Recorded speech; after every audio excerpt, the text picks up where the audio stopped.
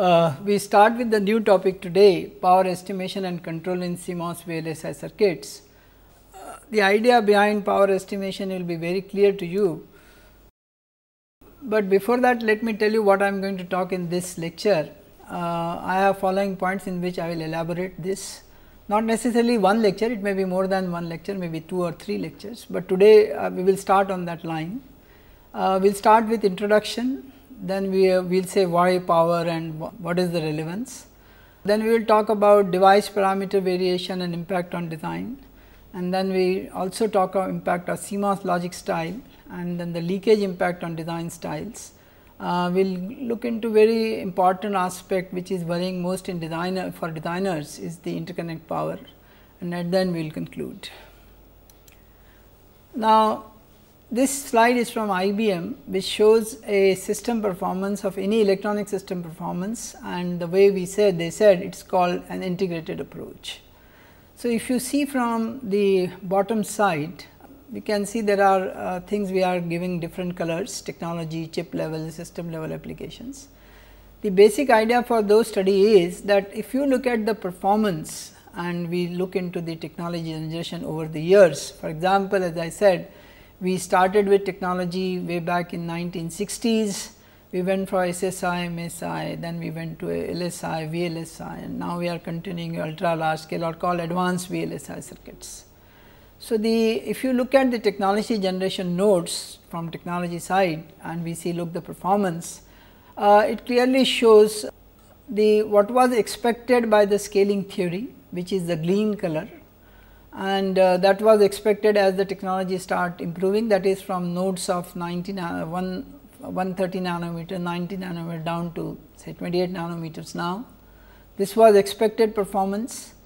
The industry is that reddish one uh, you know which is uh, recently one sees it is already tapering down now it is not improving. And uh, if you see the worst performance of this chip which is much below which is called the slow chip performance so, frequency no longer now dominate the performance of the driver because the technology is driven by something else. The advances will come from entire performance stack rather than only frequency of the circuit or frequency of the device.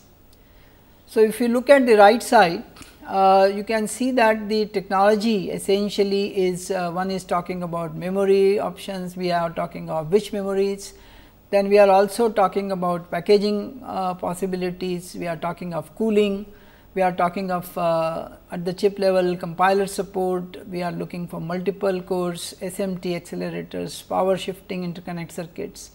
Higher level we may look for dynamic optimization, then we are looking for threads fast like multi-thread circuits are very common these days program is divided into multiple parts and multiprocessors actually took multiple threads and the circuit can be made much faster.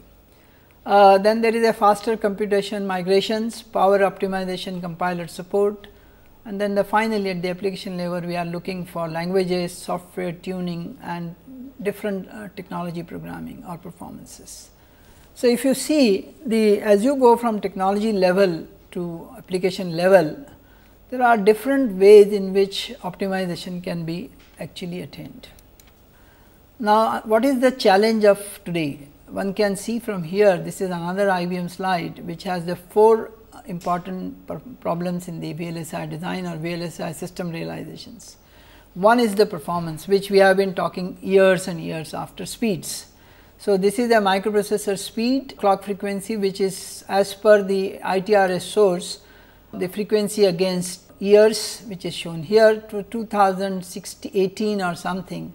We are expecting um, something like 10,000 gigahertz uh, kind of approach or more than gigahertz of approach. And uh, if you look at the other parameter of variability is called power management and this is the where this whole lecture is going to be. So, I other day also said you that there are three kinds of circuit which uh, worries us in design. One of course, is we say active pow power related to active when the device or circuit is performing and the other like a mobile phone we have a power the, which is called standby power. So, if you look at the gate length versus delay uh, one can see from here that the active power increases as the gate length decreases from say 1 micron down to uh, 100 nanometers or if we go further below the active power will keep on increasing. However, if you see the standby power, the slope of standby power with the gate length reduction is so steep that sooner by you know already we have crossed a level when the standby power is larger than the active power. And uh, around the so many watts per second uh, per centimeter square say the 100 to 200 watts centimeter square. At this point by typically around 0.04 uh, uh, micron technology one finds that the standby power is almost equal to the active power. And that is more worrisome for us because if you reduce the uh, uh, device by scaling channel length to say 25 22 nanometers one can see the active power on power may not really increase drastically because the slope is not very high. Whereas, if you look at the standby power by then it will actually overshoot so much that the standby power will be larger than the active power, which essentially means that even if we are not performing your, your battery is draining the power. So, this is one of the major challenges of today. The third uh, problem which uh, we are worried about is the variability. Uh, the way it happens that the no process or no design or no te uh, technology can control uh, the variability in the processes. Uh, since we are now becoming a sub nanometer, sub 90 nanometer technologies, the variation in thresholds, variation due to the variation in process parameters, on current, off current, transconductance which are the basic parameters of a MOS transistor, they themselves vary. For example, in the case of FinFET, one sees that if the uh, spacer thickness is different, the on current will be most uh, affected compared to any other this. So, one, one is worrying now that if there is a variation in the process itself, which leads to circuit parameter variations, then the chip performance will be extremely varying. And if that so happen, one does not know how to design, because some devices which may run faster, some may become slower independent of what design one does. And therefore, this is another issue of worry when you start designing a advanced VLSI circuit. Now, the fourth if not the uh, not directly related to design area per se, but which is worrying us most is manufacturability. So, if you scale down your features from say as I said 90 nanometer down to say 22 or 16 or 11 or 7, the major worry as I see and everyone is seeing is the lithography problems. The pattern which will become is shown on the left when I actually print it on a silicon number of times as the mask may increase to 30 masks for a actual chip manufacture so, it is not transferred as the rectangles or the pluses or whatever symbols you make or whatever shapes you make. And if that happens for a transistor, if the W L changes, whole performance of the circuit will change. So, to transfer an image to a uh, accuracy of what in the uh, sub nano, sub 90 nanometer processes is become another issue of variability. So, these are the growing challenges. They are all interconnected to some extent through device and process However, uh, this part of the uh, course which I am now talking is more interested to know about power management, uh, though as I keep saying that none of one cannot say each three of the other ones are not affecting the fourth one.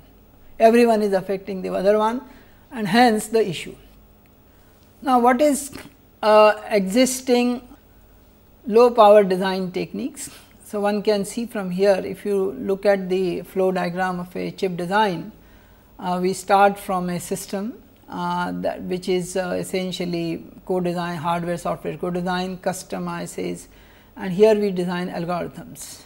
Then in the next level of hierarchy is architectural where essentially we are controlling or we are trying to optimize things based on scheduling, pipelining and binding. And third which is the most popular hierarchy level from where most of the circuits are nowadays designed from their IPs is the RTL, RTL level, RTL level, register transfer level.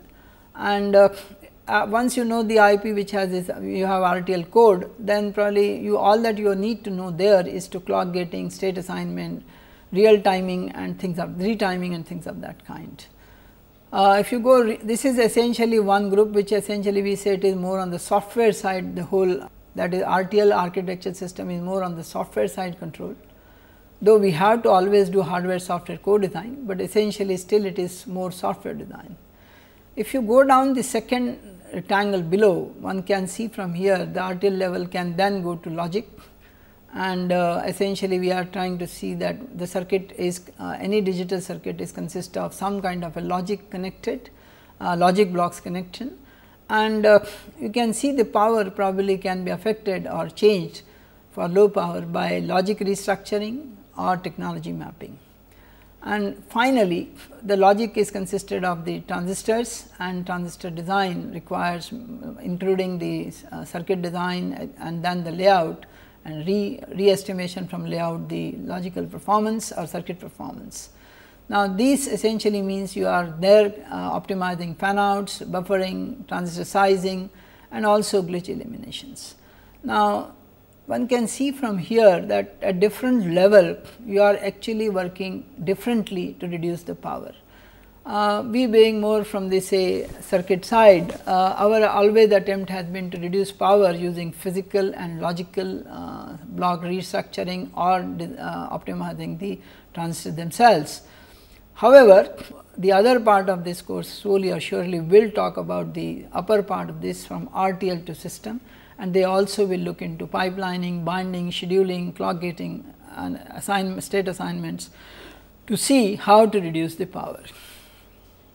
This is another standard graph available on the net, uh, standard figure. Where do you really can save your power? So, there are as I just now gave you the hierarchical level from system to physical so, of course, this figure is slightly uh, need to be modified now because the technology this was at least this was essentially available for 90 nanometer designs, but these numbers may slightly modify for lower than 90 nanometer nodes. One can save power 10 to 15 percent of the power by just transistor sizing, proper fan out that is using logical effort, putting uh, placing them properly, partitioning properly and how to uh, distribute clocks and certainly how to minimize the glitches. If you can do this, then probably one can save up to 15 percent of power using what we call physical design. Now, that is basically transistor level design, where optimization can be tried, circuit level design.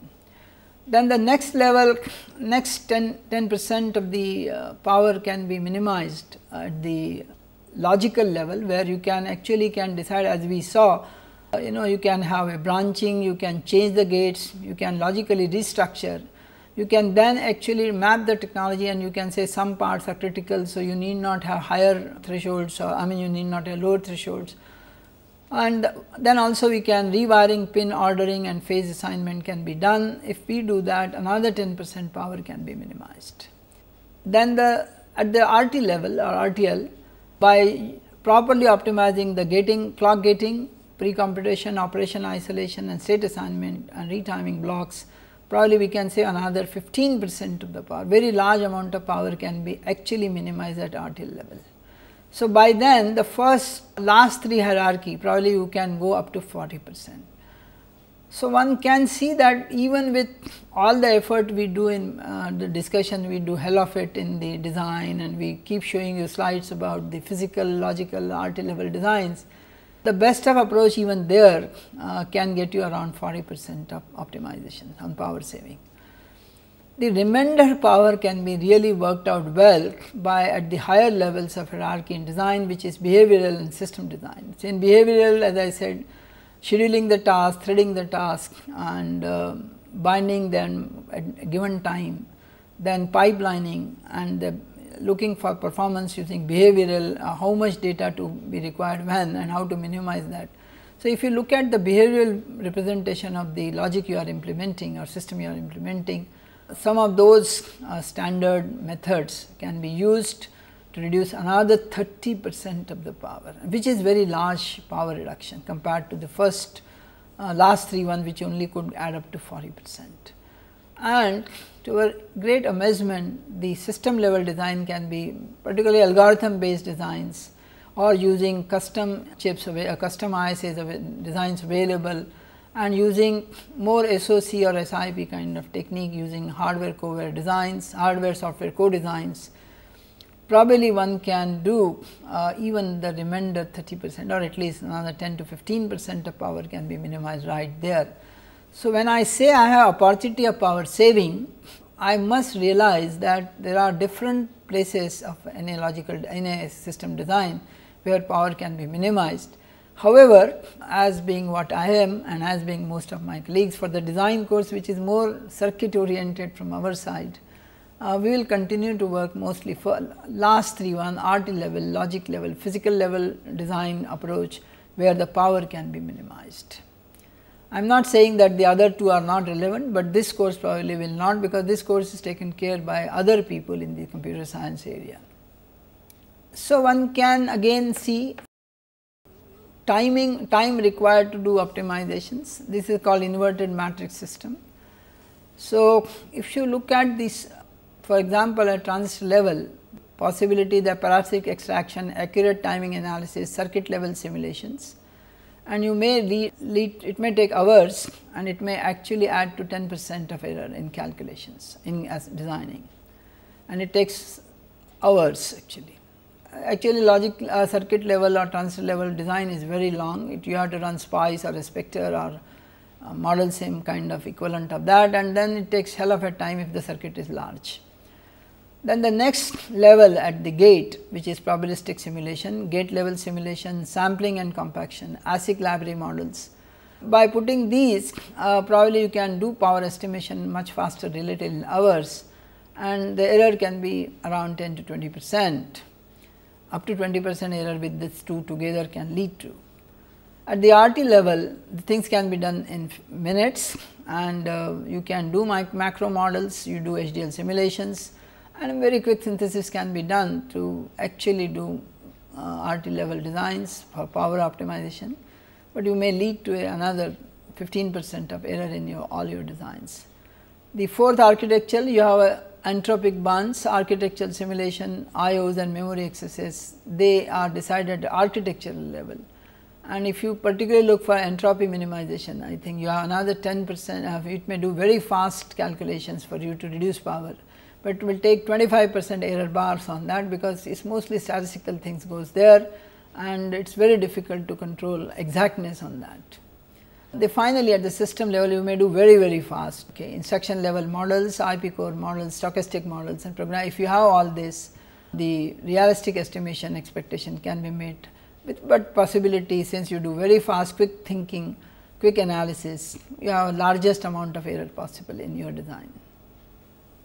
So, having told that what are the challenges for system people and having told that uh, power is the major criteria of design. Uh, if you see our earlier courses, uh, I have in my earlier VLSI design course, I used to draw a triangle. Okay. This triangle, this triangle has three corners. One of them is essentially what we say power, the other is speed and the third is area. So, when I am designing a simple IC integrated circuit, I see that this forms power, speed and area forms a triangle. What triangle essentially means? So, if I am optimizing anything, let us say I want to minimize the power. So, obviously, what can say if I reduce the power down, the speed means actually delay so, it may actually lead to larger area or lower speeds or area being same. So, or the on the contrary if you want to improve speed that means you reduce the delay then the, you may require much higher power to generate and if you still want both power and speed speed be faster power be minimal then probably you may at least have to give larger area uh, on the chip uh, that means the yield num uh, the number of chips per unit area will be smaller which means the cost of chip will increase. So, essentially this optimization is also not very very simple. In most cases we will have to do trade off we say okay this much power and this much speed is possible at given package area or given chip area and that is what the best designs probably could be.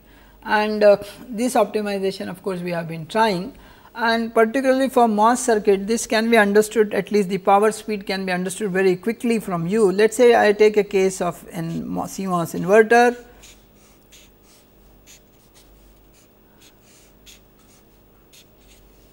this is a p channel upper device, this is n channel device and uh, it has an input capacitance of C n and I am putting an input V n which is a step and I am picking up an output voltage V 0 across the net output capacitance or load capacitance here.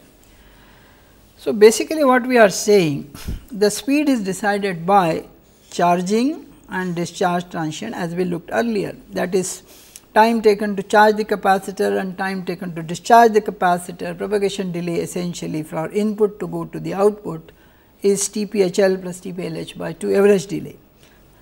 To improve this TPLH or TPHL, we say actually increase the currents. And if you want to increase the currents for discharge and charging transient, these devices must provide you that large currents. But the current in MOS transistor is proportional to W by L for a given silicon technology and given technology node where Cox is fixed. So, we figure it out that the only way to improve currents in design is to increase W by L, but if I increase W by L essentially I am saying larger area and if you have a larger area the input capacitance will also increase. So, we figure it out that by increasing the current which essentially we uh, may improve the speed, we actually landed up in larger area. But apart from area, if the currents are larger in a circuit and as we shall see later, the power is essentially proportional to current.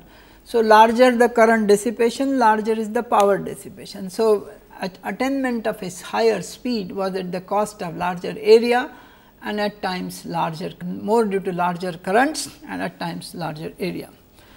So, when I design a circuit or a chip, I am really looking to optimize such that I do not give too much of a power, but I still improve speed and I do not have to really reduce my increase my area. If I can do that, then what is say I have done an optimal power optimal design. So, as I say our ultimate aim is to have say 0 watt per centimeter square power density, speeds of infinite hertz and area probably 0 which is the ultimate values one probably can think, but how best we can achieve 3 together is the effort in all circuit design and therefore, and also the system design.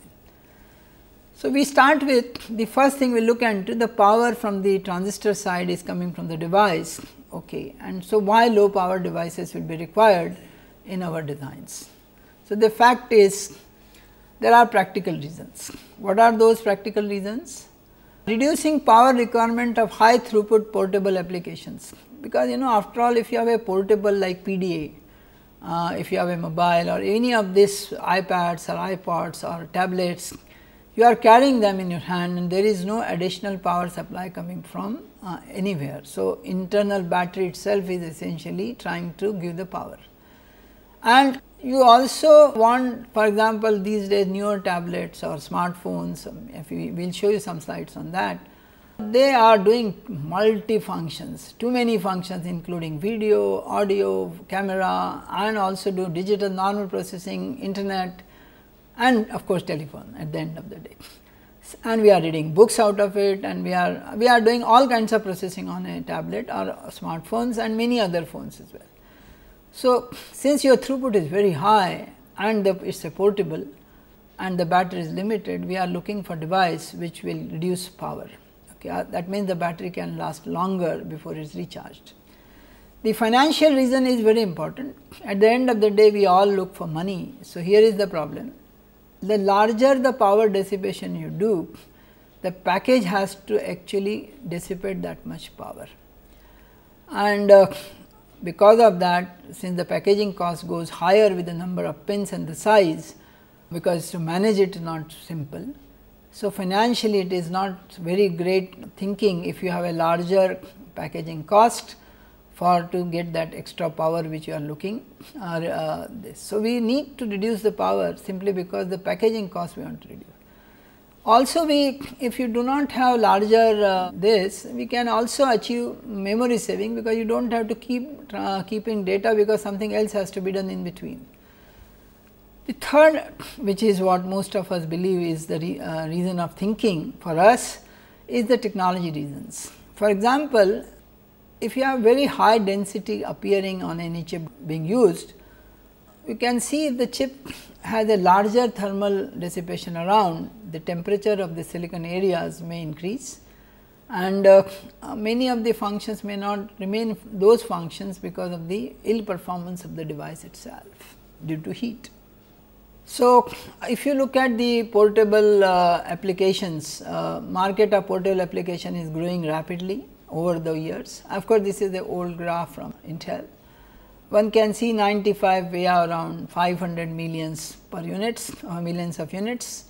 Today in 2000 this is more than 2000 uh, millions units are required for cellular market and in India itself has the largest uh, cellular market. Of course, density wise not that high even now for the population, but the number of cellular phones are really much higher than even U US market as of now. And therefore, you must have observed that most of the cellular companies are trying to vie to enter Indian market and the result of course, is well known everyday newspaper is just talking about it. So, here is a smartphone just look at the smartphone blocks inside. If you look at a system there are of course, there are not just 8 blocks some of them are included in this, but general major blocks in a smartphone are the following. There is a display which all of you see us which is called the the center one is called bus bus structures. Okay. So, we have a display then we need a processor to do all the jobs. Uh, okay. So, we have a processor then you need to have connectivity externally. So, you are looking for a USB connection. Okay. It can be your system should be able to connect to any other internet or any other drives or anything which is the USB connectivity. For example, that is one something like connectivity is something different from some of the smartphones like I am told between Samsung and uh, iPad or iPhone that that is major difference or between iPad and Samsung tablet that is the difference. So, tablet has a USB connection. Then we of course need a, receiver transmitter at that frequency of operation because that is what the cellular data is coming or going. So, it's you need uh, from the antenna connection to receiving transmitting system and uh, uh, these are of course online uh, high frequency things going on. However, there is other area where data has been to be processed. For example, you have a lot of memory interface uh, because some data has to be stored, some data has to be temporarily stored before it is passed on like you have SMS messages going on and then you are receiving in between and they do have an interface between stopping between mail uh, uh, for these SMS and phone together and you need data to be cached somewhere and there are a lot of memory interfaces required for the data to be stored temporarily or permanently. Then there are blocks like image processing after all every these days have a camera and uh, even if not camera you may have internet which may have a, a figure uh, most of the video pictures or video disk. So, you need to process that data and therefore, an image processor has is a part of any uh, smartphone these days. Then to get this audio video data in a for proper format which can be done processed, we need an audio codec and a video codec. So, if you look at the any smartphone block diagram, these are the major uh, electronic block which constitute the working of a smartphone. These are typical specification which smartphone gives for a specific for example, you have a processor PD processor, you have typically if this on then it is 1.2 volt battery is required, text is 1 volt, phone is 1 volt, RAM is of course 1.2 volts, camera requires 1 volt supply, playback is required 1 volt, game requires 1.2 volt, standby required 1.2 volt and in off mode we do not want any power. Okay. This is a power requirement shown here power dissipation I am talking about. Power dissipation in the receiver processor of course, is the first one. In the case of transmitting receiving system, you have power supply requirement on on when 1.2, text you need 1.2 volt supply and uh, for the excess rim excess of this you, you need a small much smaller power is 0.8 camera is not on when you are trans transmitting receiving a data except when in standby you still need 1 volt supply. If you look at the display uh, almost except for the case when the you are phone you are listening phone you do not need display because you are not seeing the display and therefore, that can be stand down to 0.8 volt supply, but the all other places except for standby and off mode you want 1.2 volt supply. Now, if you look at power dissipation image code image processing chip part then except for the processing access of the internet everywhere else image processing requires 1.2 volts. There is no game when you are doing already your data stored. So, you do not need power in standby or off state. And if you are the rest of the power dissipation except for the PIM access and the standby this you require constant power. Camera when you are actually doing this camera requires much lower power because you may not actually operate it, but you want to use in between any data to snap and transmit then you need some camera be on.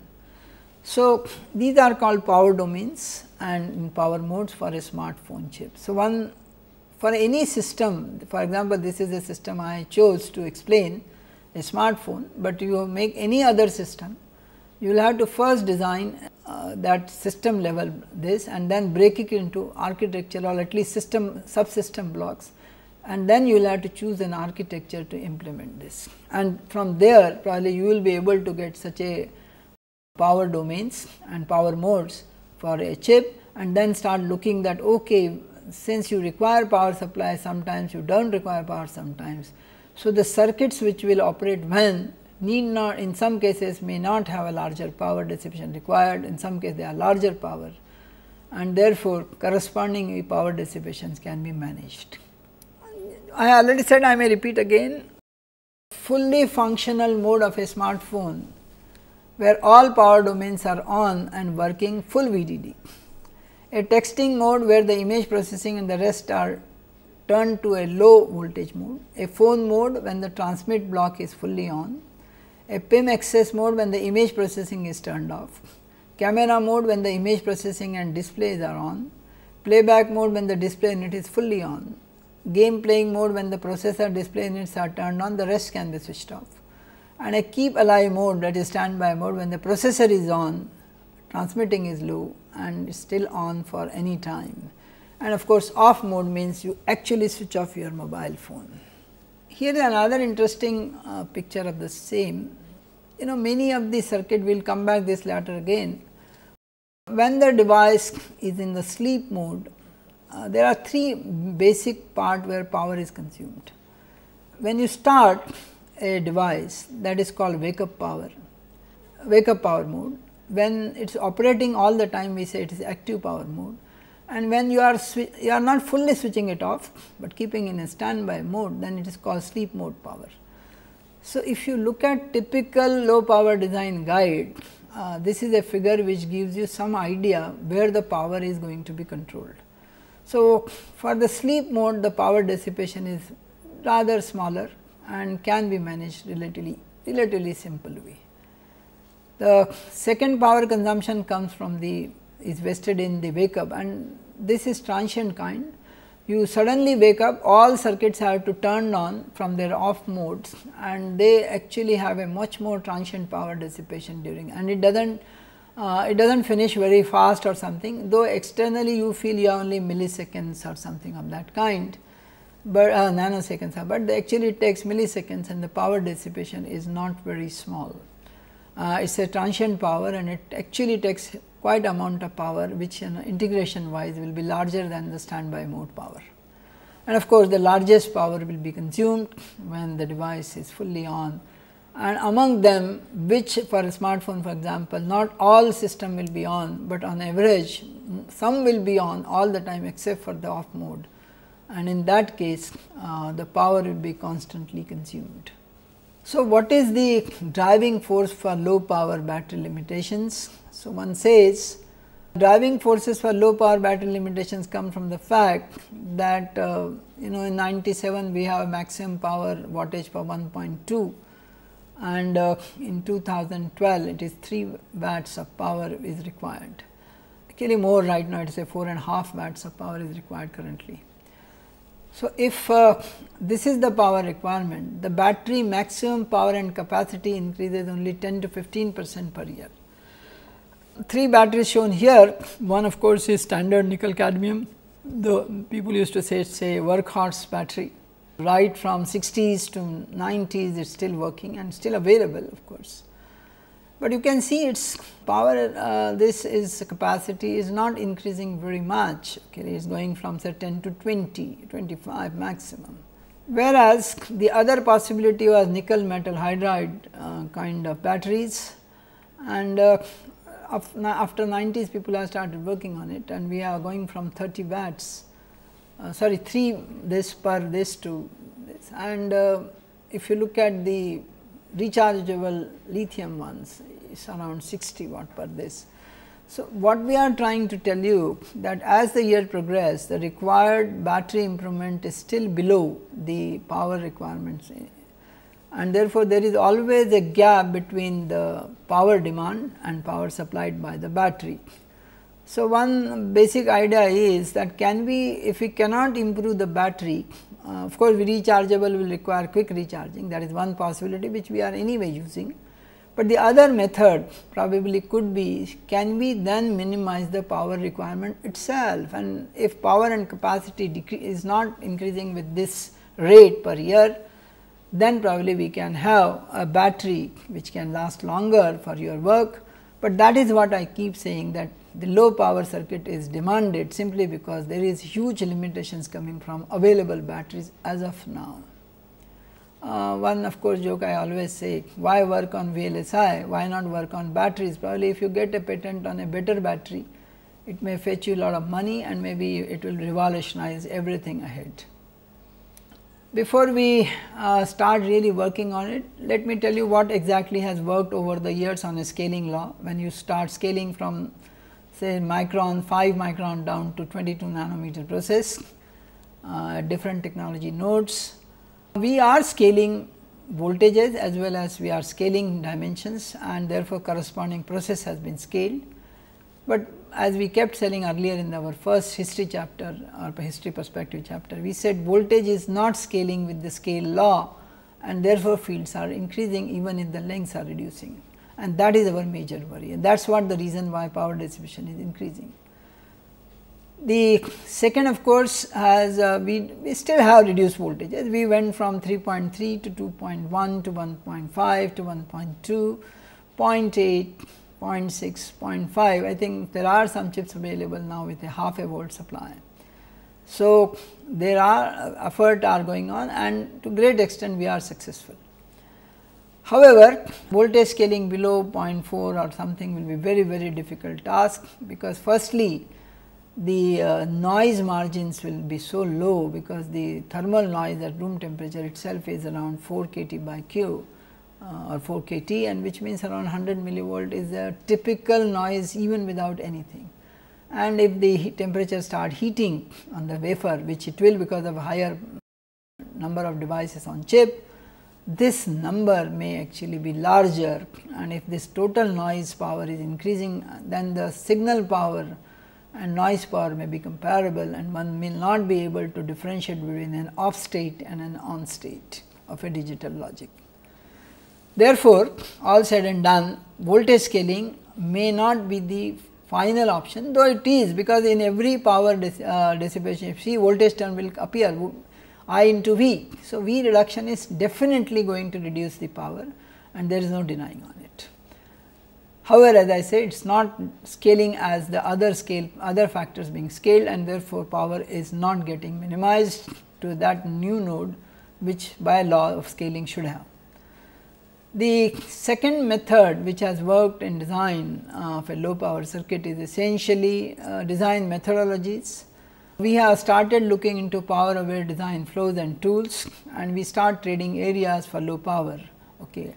Instead of speed, we are always trying to trade now on a area uh, because most of the low power designers do not mind giving little bigger chip, but they certainly need low power whereas many other high performance circuit may do. Otherwise they may say we do not mind too much of a power dissipation, but we want higher speeds. So, we are trading on uh, either of them. And for that we are looking for design flows, we are actually looking for everything which is from right from system level down to a logic or transistor level, we are actually designing what we call power aware design. For example, ma major work is right now power aware design is to data transfer from one point to the other through an interconnects and people are looking for whether the uh, it should be driven by current modes or it should be driven by voltage modes and what kind of power can be saved by using part of the analog blocks inside. So, yes there is a trick going on to reduce the uh, power by what we call power aware designs. The other of course is change the architecture so that the data required does not require every now and then to flow from different places and uh, uh, we will see that uh, architectural design play a lot of this in reducing the power. Then the another uh, circuit level method which one is looking into to reduce power is what we call power down techniques. Uh, we are trying to use uh, clock gating essentially it means whenever you need a data you clock the data else do not allow it to work constantly. So, that no data transfers still it is required. So, as if the clock average clock is slowing down and hence at least the dynamic power is minimized. And of course, there are other techniques of dynamic power management which is being tried using many other techniques we will see in this part of the lecture. Then the four, fifth possibility of reducing uh, which has worked is dynamic voltage scaling based on workload. Uh, this is called appropriation of voltage at different say more than one voltage which we call dual VDD or dual VTH kind of approach in which we can assign voltages VDD supply value from say uh, let us say you are working on 1 volt. So, some circuit may require 0.6, some may do 0.8 and some at the best of it may require 1 volt or 1.2 volt whichever is available to you. So, we say power management using voltage scaling can be tried at different workloads in doing so, we may also actually scale uh, the uh, threshold voltage which is dual threshold or multi threshold circuit can be tried. Threshold can be actually controlled using number of weights and one will see how to scale the uh, VTs. So, that uh, one can do lower dynamic power dissipation. There is a constant effort going on on the RTL logic which we write or do logic synthesis, can we reduce the power during RTL? RTL essentially represent the uh, module which does some kind of a function. So, can we see that a function is one which is simpler function compared to a larger function? Can we synthesize such a logic using a much different way uh, which will reduce the net power consumption because the amount of logic synthesis uh, amount of logic transfers it will do will be lower. And of course, uh, one simplest way of doing things what people are doing right now, at least using the cell library design technique, we already have pre-designed blocks with low power dissipations and uh, design such library functions, uh, you keep resizing them if necessary W by L may be changed, which reduce capacitance, which changes the thresholds and also layouts of the transistors. Using all this, you can create logical blocks of which are slightly better optimized and you have a large number of library functions which gives you variable power dissipation and corresponding speed and areas.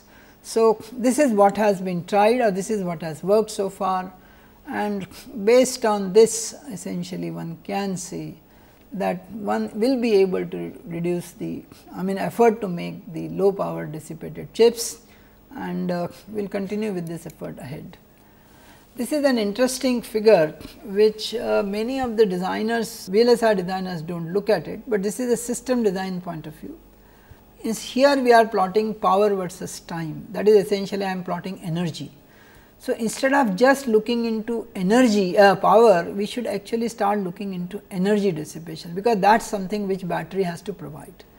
So, what do we do there? We say there is a line which say average power.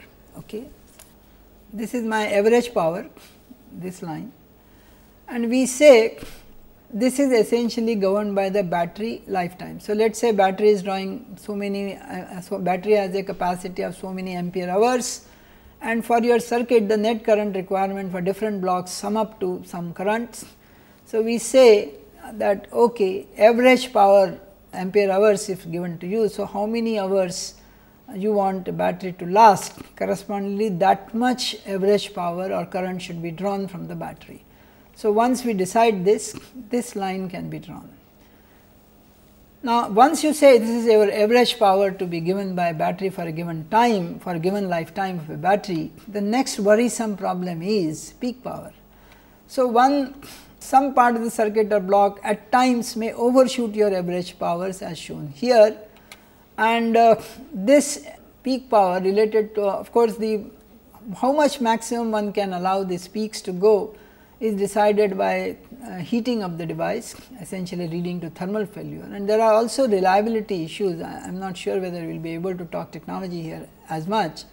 Larger the transients occurring or peak powers occurring there is another worry right now going on increase of local power densities which may lead to what we call electromigrations and that may open the interconnect lines. So, there is a huge reliability issue if the peak power is very large. The third point of interest is the RMS power which is related to cycle by cycle power. Uh, now, this RMS power essentially is the power uh, because if there is a variation in the power requirement of a chip, then one should worry about the not just the average power, but we should also worry about the RMS power for every clock cycle how much is the power really delivered is essentially very crucial because that will decide the net uh, power dissipations. So, you can design a circuit which has a lower RMS power requirement and you can design a circuit which requires higher RMS power requirements cycle to cycle. So, some cycle may require larger power, some may not and therefore, one can probably manage low power by actually adjusting your RMS power every clock or at least number of clocks if not every cycle clock. The finally, as I keep saying at the end of the day, why we always worry so much about power, one should really worry uh, about the power into time, which essentially means that we should worry more about power delay product rather than either speed or power. So, if you want a larger speed, so lower delay and you want a low power. So, we are now trying to say if you want to minimize energy, essentially you must reduce the power delay product and if you can do that your battery will last longer. This is essentially because please remember battery supplies energy okay, and this is stored by the process of battery itself ionization initially.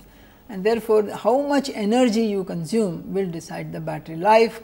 And therefore, the effort in the power low power design should really actually shift to low energy designs in many cases which may be more relevant parameters. Now, if you look at this is a Hayes paper on appearing way back in American Scientist uh, journal. This is a computer and a very nice interesting article if you happen to read this September 2002. Mr. Hayes has given a very interesting comparisons there. Okay.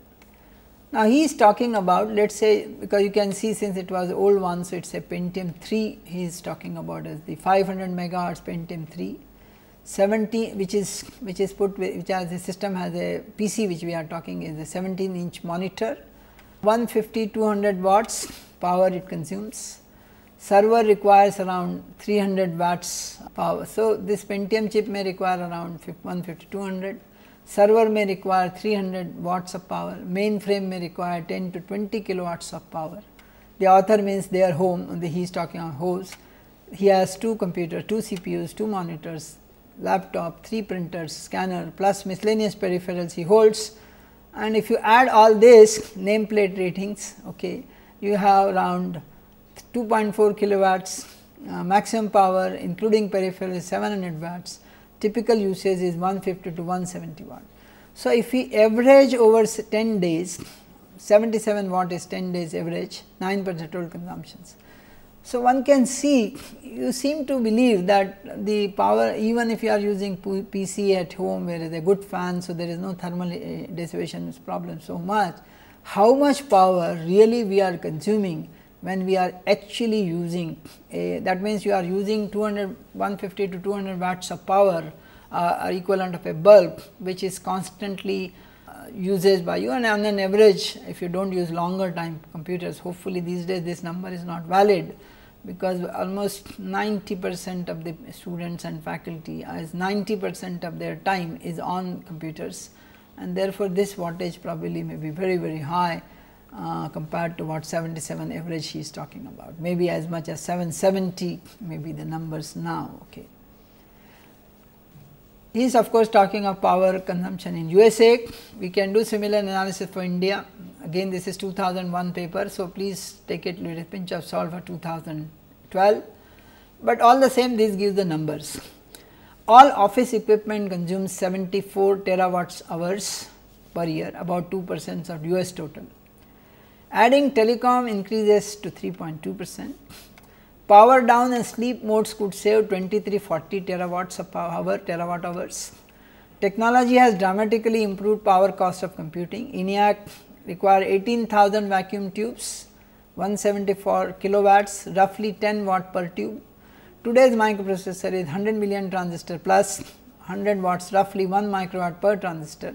Of course, nowadays it is not that low or that high in all processors. So, since we can reduce technology dramatically this cost, one can see that even then the 3 percent of the net power consumption goes into only computing at homes okay, and talking to people. Okay.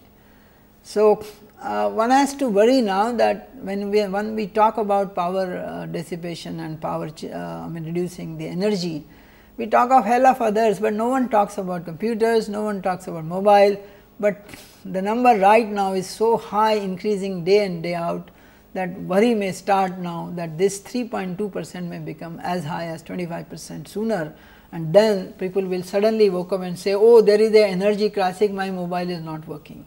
Okay. So, how can we quantify quality of design this may be one last slide for the day. When I design a chip or when I design a system, want to compare designs quantitatively on a level playing fields. You know, you cannot have two different people designing at two different tools at two different technology and then compare. So, there are two few things we should have common so that we can compare. Two characteristics we care most about delay and power consumption. These are the two specs we must look into and we know that delay and power are related and therefore, first thing we must compare any design on these two parameters. CMOS logic operates by moving charge from one point to the other during on and off capacitors and therefore, we are looking for fast energy transfer implies higher power consumptions means faster logic gates. So, if you are looking for higher speeds, uh, you inbuilt situation is you have higher power consumption. These are few slides which we may come back again. This is the old size, the die of this microprocessor has increased size for example, we started with 2 mm by 2 mm size this 2 or 3 and now we are talking of 2 centimeters uh, chips by now.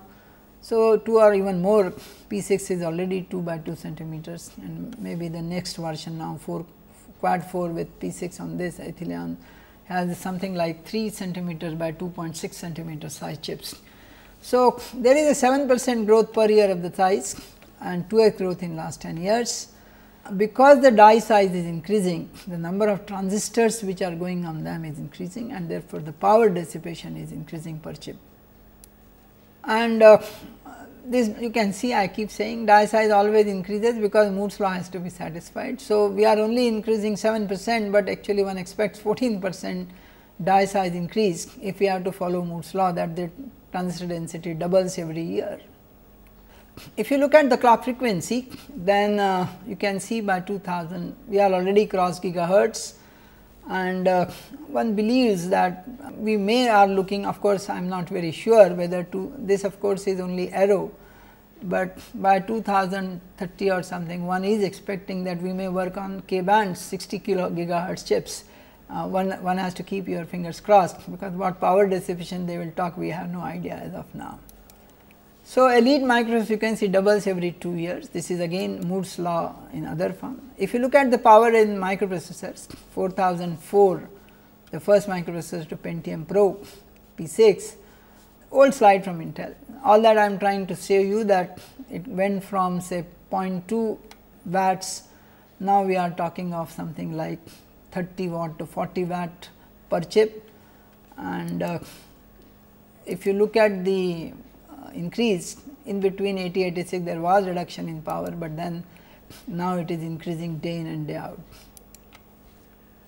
power delivery and dissipation will be prohibitive. If we continue to go by this straight line as shown, then the power dissipation will be extraordinary. And here is the last graph showing that power density by 2000 we have already temperatures which are power density equivalent of a um, hot plate. We are reaching a place which is 200 watt per centimeter square which is roughly like a nuclear reactor power density and if we continue to grow as we are looking for uh, it will be 1000 watt per centimeter square which is like a rocket nozzle temperatures power density. So, if you are really look worry uh, if you are designing a chip uh, with anything the first worry is how to avoid power densities of the uh, these two. We are already here we are trying to dissipate this power itself and if you unfortunately reach on these lines one does not know how will you really reduce the or dissipate the power and how, how the cooling methods can be employed. It is too high and we remember higher the temperature, junction temperature rises, leakage current increases, the concentrations of PNN also increases and finally the junction breaks down because one say there is no junction both, both side equal concentration of carriers occur. So, at higher junctions, higher temperature junctions device may not operate. So, we must keep junctions cool. Okay, so these are the kind of power we are going to work on to reduce the device. This is my last slide for the day. We will look into CMOS alone right now. There are other technologies, but this course is strictly uh, following as if we continue to work on CMOS chip design. So, we are looking for reduction in power in dynamic power, which is essentially charging discharging capacitances. Then we are looking for when the transition occur p channel turns off and n channel turns on vice versa occurs. Both are in one is off the other is on, but when they switch over both are on for a while and that time we say it is a short circuit current. Then there is a static current particularly in analog and also in saturated load or unsaturated load and MOS inverters are the, those kinds which are mostly popular in HEMT or gallium arsenide devices. So, there is a constant power supply to ground connection we say that as a static power consumption and uh, particularly like in a bias circuit in an analog has to be constantly on because even if your diff amp is not amplifying signal is not there this keeping diff amp at a particular biasing point has to be on all the time. So, there is a static current dissipation in most of the chips right now and that has to be taken care. And finally, if not the last I would say the major worry of 2010 or above is this power which we call a off power, which essentially occurring because of the leakage. We believe when the V n is less than threshold volt, then uh, threshold voltage, then the device is off. But in real life, the threshold definition itself says that from the uh, uh, when the band bending is actually 2 times the Fermi potential phi f, then only, but essentially that means uh, the inversion should have occurred when the surface potential is equal to the Fermi potential, but the actual definition says 2 phi f which means even below VGS below VT there is a subthreshold leakage subthreshold current flowing and that is the major leakage worry because the slope of subthreshold slope in the new devices is too high and therefore, the leakage is very high. It is not 60 volt per uh, decade or 60 millivolt per decade. That is our major milliamp per decade. So, this is major worry for us the other of course is the source drain uh, have a diode forms a diode with the substrate. So, there is a reverse bias diode leakage currents because of the dopings we are going to use now this reverse leakage currents will be very high and then there are many other leakage current and one of the top leakage current possibility is the gate oxide tunneling or it may be what we call GIDL gate induced threshold current or the currents because of what we call change in DIBL values and things of that kind. So, if you see if I want to reduce a CMOS power in which the static power of course one may say is not there at least dynamic power the short circuit power and the leakage power essentially occurring because of the static current leakage current and charging discharging currents that should be minimized during the process. But when you reduce the currents we know from our theory that the charging current or discharge current reducing will improve will decrease the speed or increase the charging time or discharge time. So, the circuit will become slower. So, for a given speed what else can be done to minimize power this is what in this course ahead we will be able to talk on all these fronts what are the ways we can actually minimize the power. Thanks for the day.